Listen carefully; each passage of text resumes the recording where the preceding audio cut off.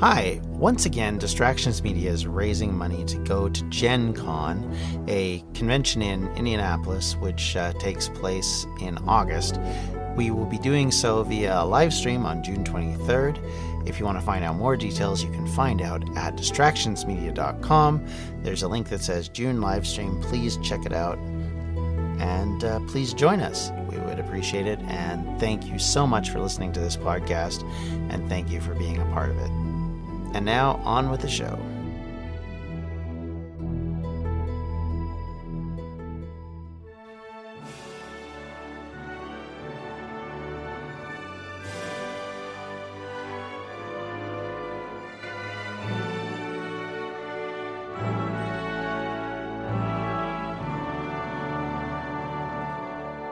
Welcome back to the Welsh History Podcast, episode 77 The Life of Griffith ap Cynan, Part 2.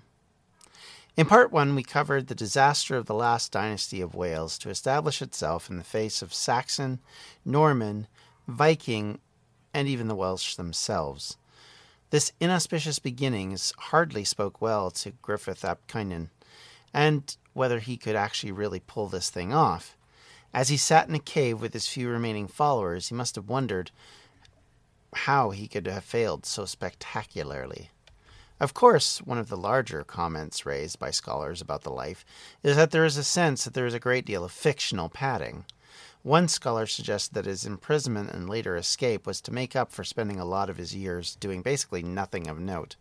Another scholar suggests later on that this imprisonment may have either been longer than suggested or may have gone on until the Normans desired the removal of uh, the revolt that we'll be discussing later. So, with that in mind, let's move on and talk a bit more about how we go from the imprisoned and desolate young Griffith to the king of Gwynedd. So, we are still left with the fact that there is a biography that we can work from, that we can look at, that we can examine. And within the chronicles themselves, we can talk about some of this. Of course, there is coloring by the obvious hero worship and propaganda of these later writers. And of course, the the amazing ability to look back at something after it's already happened and see portent where there was none and uh, fortune where there may not have been any, and examine these things and look at them and say, oh, look, this is why this happened. This is the reason why our king became such a powerful person and why his descendants are so powerful. And as we talked about last time, that's part of the way you construct a myth and a legend around someone. The way you create a founder of your dynasty is to show that that founder is bigger than anything that came before him, that he was able to uh, overcome so many obstacles and achieve his great destiny in the face of these things. So, again, kind of reiterating what we talked about last time. But nonetheless, in the story of Griffith at this point, he was a king without a country and a leader without an army, and once more he needed allies. So, again, he crosses the Irish Sea and went to the kings of Dublin to ask for help and eventually he ends up going to the Hebrides looking for further assistance from the Vikings. Now, whether he arrived back with an army or not, we don't fully know. The life says he does. There's arguments to say he didn't. And there's a lot of things that go on here that make things difficult. Uh, his arrival back in Gwynedd, if we're to believe the life, appears to coincide with the rise of Cadwgan, ap Bleddyn's rebellion against the Normans in Powys. Cadwgan uh, had been trying for a while to take over the remains of Deheubarth, and this appeared as an opportune time to grab possession of the once mighty southern kingdom. First, uh, Rhys Tewdwr, his ally, was killed by Norman marcher lords, uh, specifically Lord Bernard de Neufmarché, uh, who then, of course, sent his family into exile, as we know, to Ireland, and ending the kingdom, at least at this point in the process and settling the Normans on the path to the conflict with Powys over the area. With Rhys gone and the kingdom in chaos, both the Normans and Welsh battled for possession of it. It was at this time that Cadwgan set his plans in place to start to conquer this area, and also to move his influence from being one of a northern and middle Welsh to a southern Welsh influence. In other words, he wanted to dis. It, it comes across as that he wanted to dispossess the Marcher lords of their property, and had obviously found enough power to be able to push his luck on this matter and try and influence what had gone on. Uh, in fact, there is some argument, if some of the documents in the life are be to believed, that Cadwgan found an ally in Griffith who again was seeking the throne of Gwynedd, and he himself once more needed allies if he was going to be successful this time, because if you remember from the last two incidences, he tried and failed. Now, with the south largely in the hands of the Normans, and William Rufus caught up in political shenanigans in Normandy and the eventual announcement of the Crusades, uh, the Welsh were on the brink of revolt. By 1094, in fact, they start to push against the Normans in their own way. They start to attack various castles and things. Uh, the Welsh Chronicle describes this by saying the Britons, in other words, the Welsh, being unable to bear the tyranny and injustice of the French, in other words, the Normans, threw off their rule, destroyed their castles in Gwynedd, and inflicted slaughter upon them. Uh, this leads to the Battle of Coedysbys, and the forces of Powys and Gwynedd won a victory that allowed them to turn south and finished the year destroying castles in Dyfed and also in uh.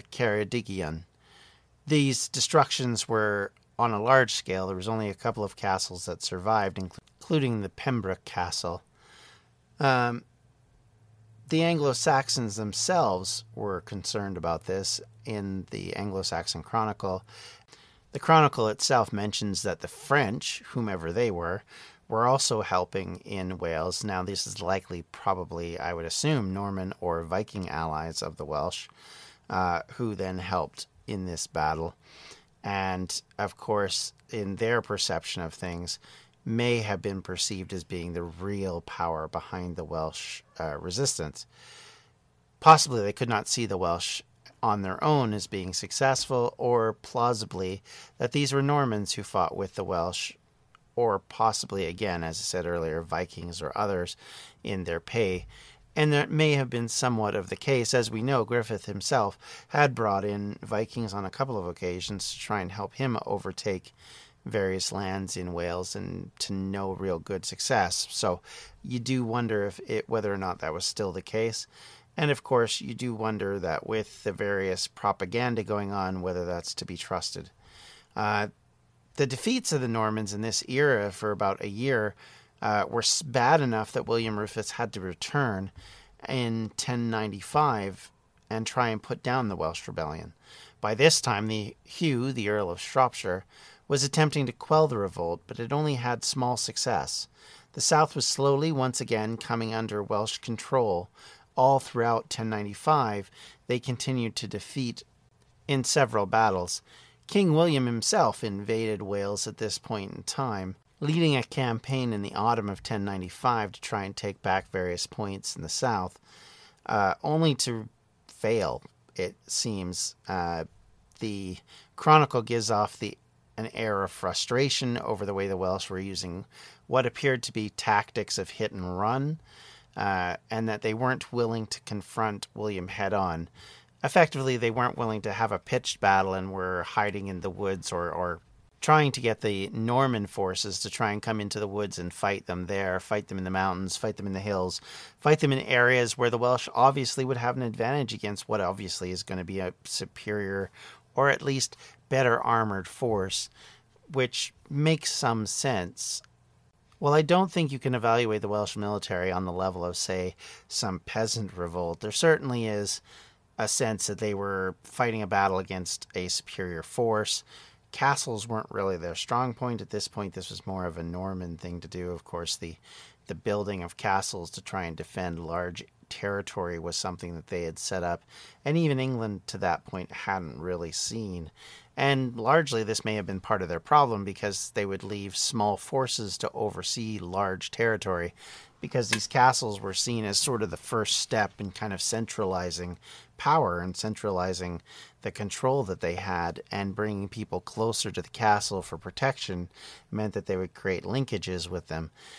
In the Welsh case, that wasn't how they had run their governments or run their people for years and years. We've talked in the past about the fact that after the end of the Roman period, there wasn't really a centralized uh, location like there was in England. You didn't have massive towns and cities that were running administratively. And in fact, even amongst the way that the formations of the church were created, they were still based around small villages and small rural areas and not major centers. So you didn't really have the same thing in Wales. So there wasn't a comparable in that respect. And in that way, you would have a different method of fighting and a different way of doing things. It doesn't mean, and as we've said in the past, that the Welsh themselves didn't fight pitch battles, didn't come out to fight pitch battles. I think it's obvious that they did. Uh, certainly, they did when they attacked Shrewsbury and Hereford at different points. Um, certainly, they've done it in the past.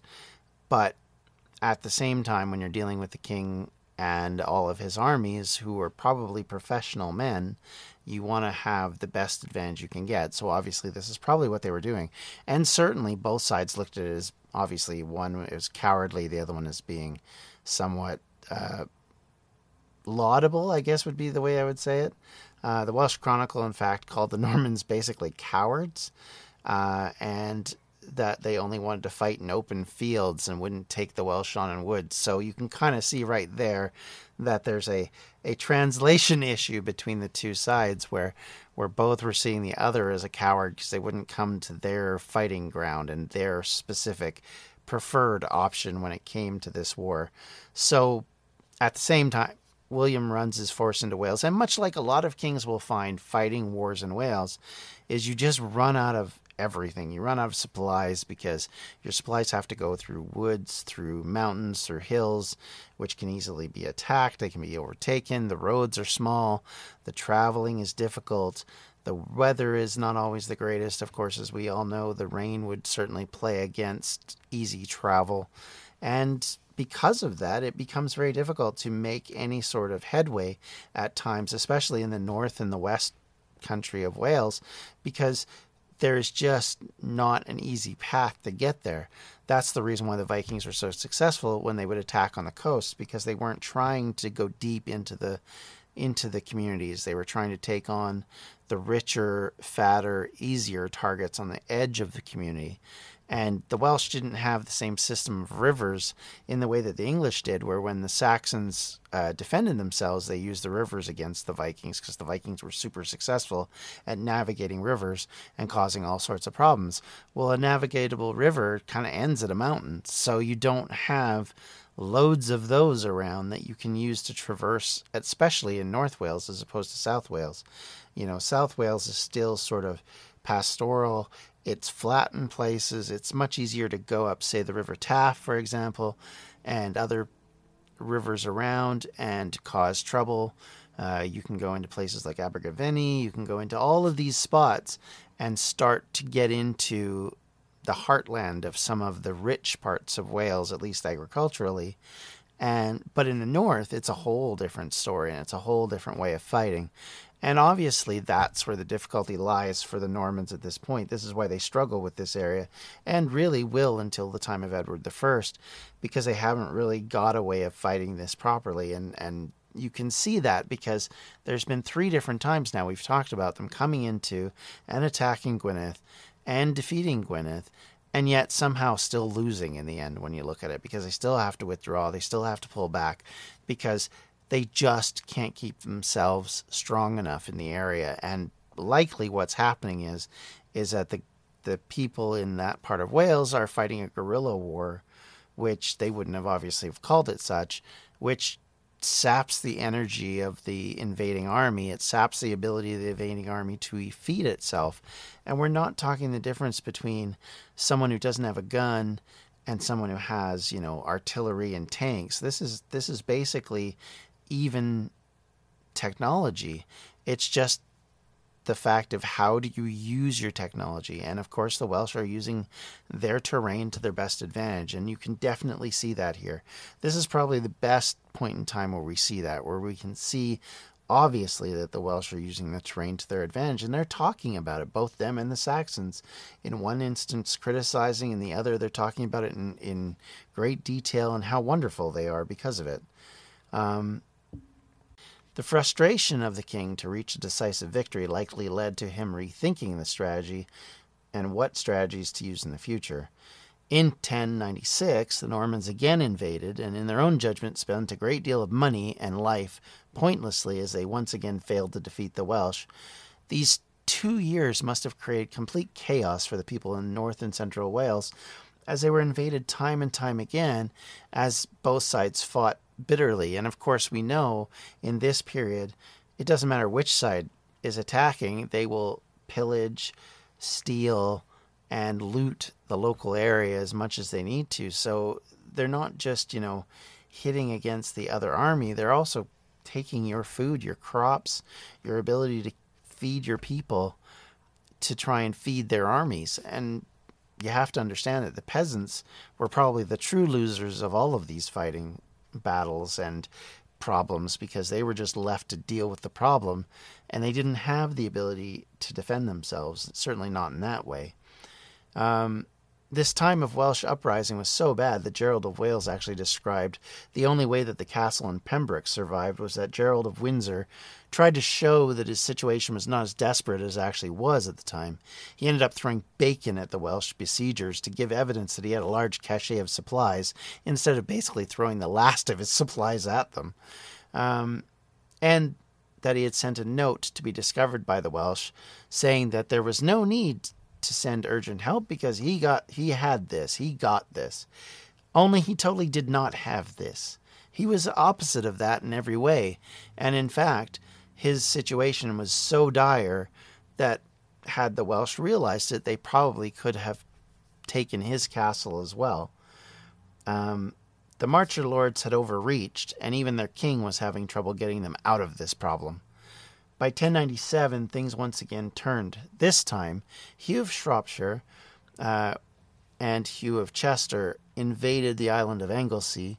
This time, they ran into a Welsh force prepared to fight, and a apparently seem to have defeated the Normans. This is a very confusing situation and description. One, because both chronicles are using vague year references that we don't really understand fully.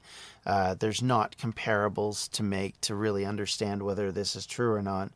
Uh, as well, it seems more like it was a defeat for the Welsh. And the reason I say this is because at this point, their main foes, Griffith and Cadwallon, uh, fled to Ireland.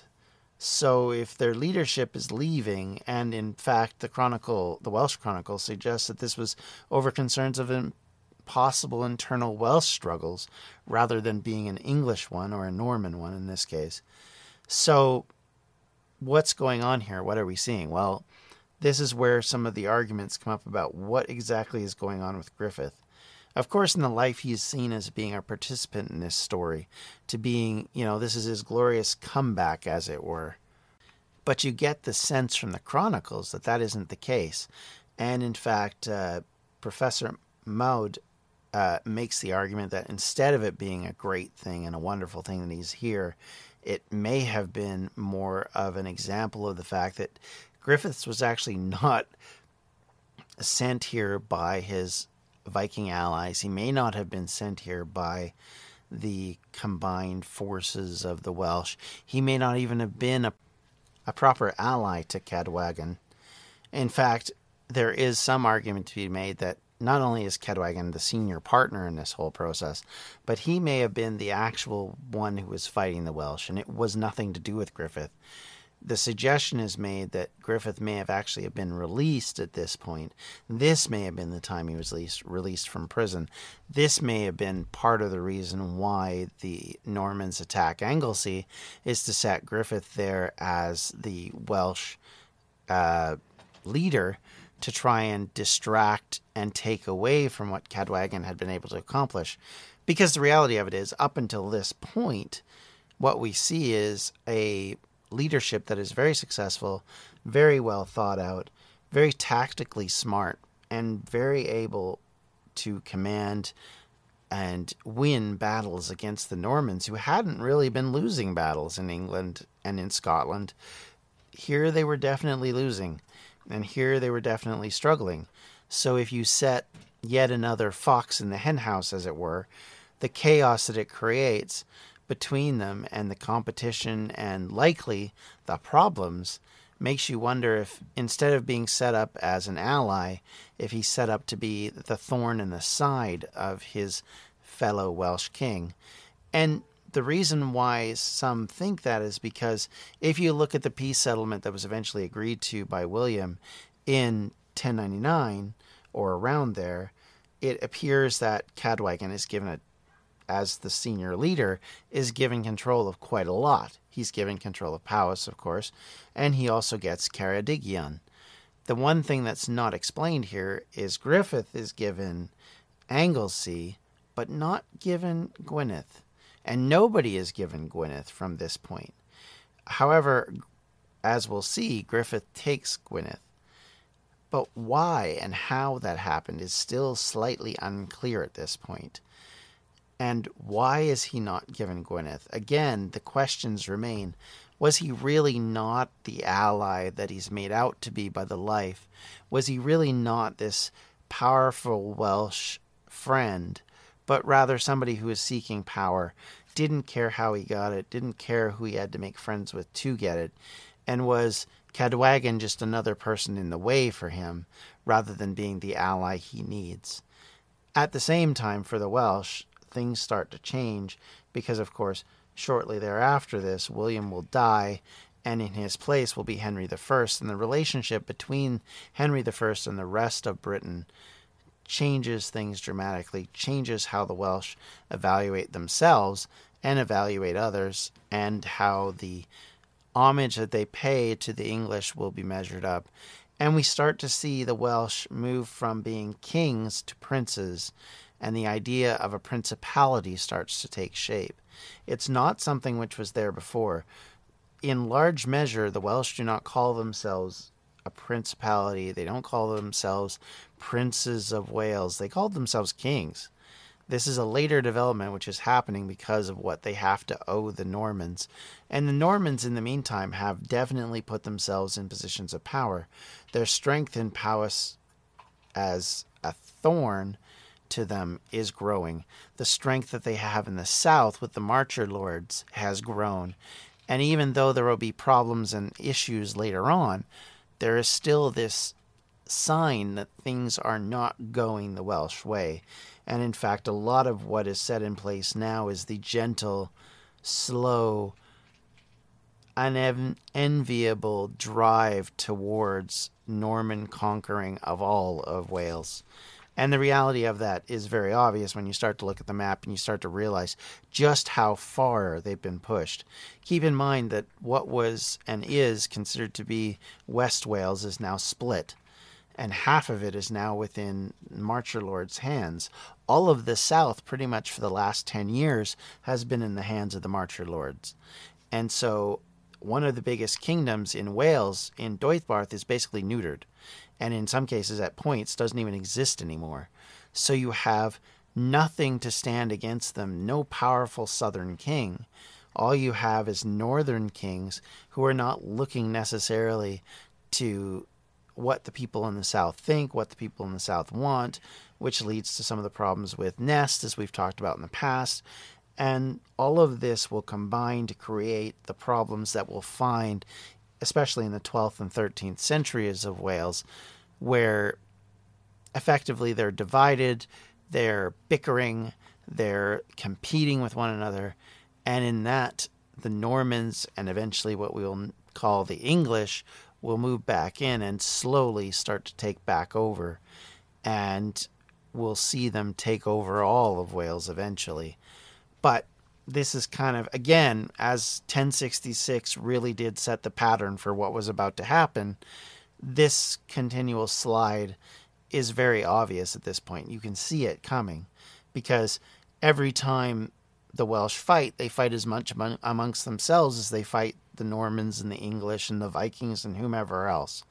And this inability to unite to create uh, a lasting peace amongst themselves is what drives the problems, and really what hands the kingdom to Edward, as we will talk about later.